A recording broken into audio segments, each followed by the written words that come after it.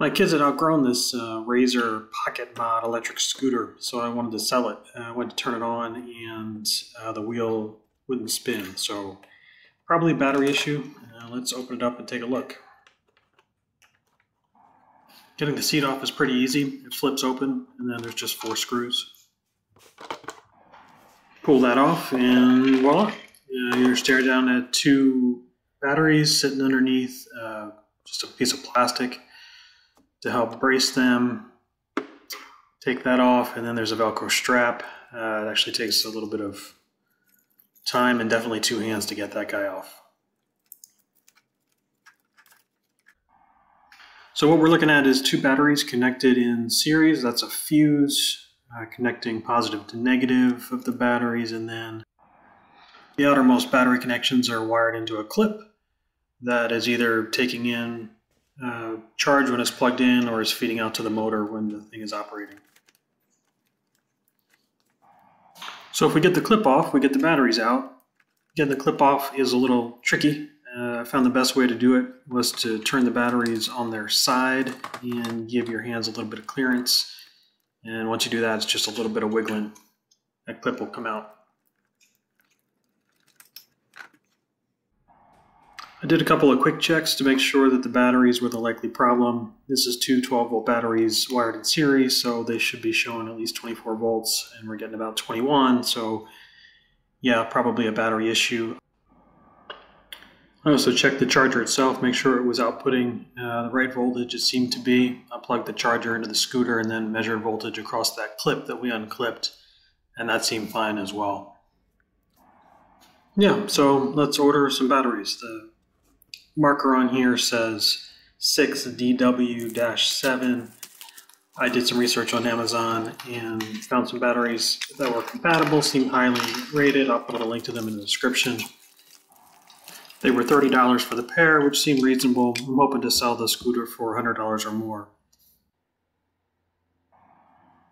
The old batteries have their terminals covered by what appears to be silicon my thought was I could get the silicon off and reuse the connectors on the new batteries. I spent some time uh, digging and clawing, and unfortunately, it turned out that these were soldered on, uh, so I wasn't going to be able to reuse the connectors. So save yourself a little time, go right for the snips, cut the wires.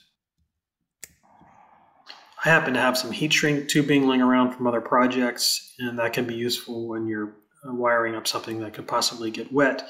So I slipped some length of tubing over the wire and then I put the stripped end into a new battery terminal connector. Now these connectors, it turns out, come in two sizes, a quarter inch and 3 16ths inch. The batteries uh, that I'm replacing and that I bought have the smaller connector, the 3 16th. I had trouble finding that size, so I went ahead and used uh, quarter inch connectors they they fit snugly on the battery terminal, and since I'm planning to put silicon around them to secure them, I'm not really worried about them uh, falling off during use of the scooter. So same process, just three more times. Cutting the wire, stripping the wire, putting heat shrink tubing on, and then crimping on a quarter inch battery terminal connector. When you buy these clips, make sure also that they'll fit the wire gauge you're dealing with. These wires are 14 gauge.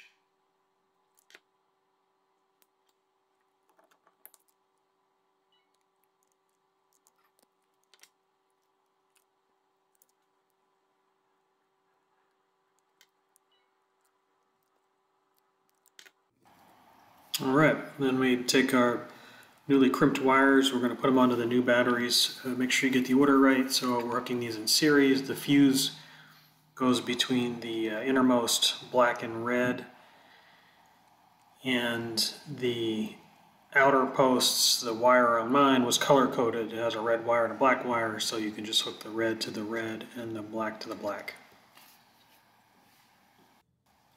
The assumption here was that the battery was the problem with the scooter, but before putting it back together permanently, I wanted to double check that. So I'm just putting the batteries in temporarily, going to get them reconnected to that connector.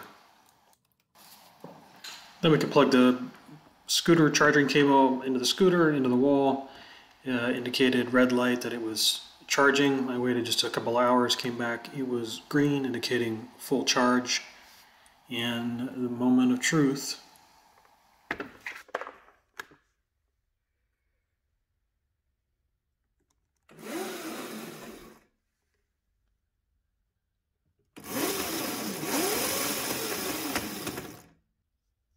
All right, now that we know the batteries are fixing the problem, I pulled the batteries back out and I want to get that heat shrink tubing slid onto these connectors, put a heat gun on it, shrinks up the tubing, makes a nice tight waterproof connection, and I do that for all four of these connections.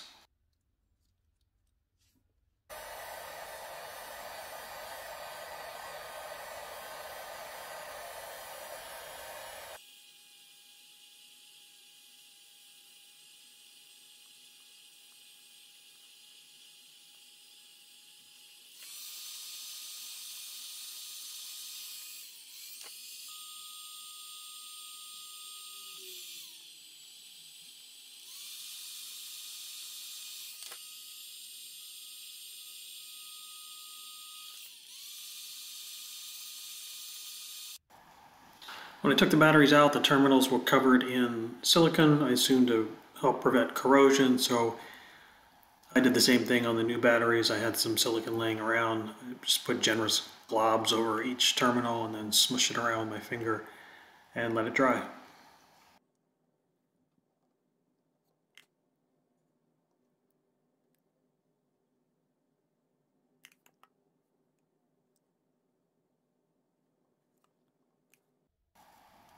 The batteries are going back in for good this time, so back in on their sides. Makes it easier to work with that connector. Get that connector uh, reconnected, turn them flat, and then restrap that Velcro strap. Easier to say it than to do it for sure.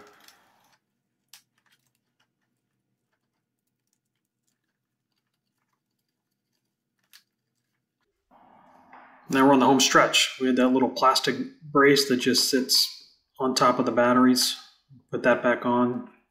Take the seat assembly, put that back on, four screws, close it up, and we are good to go.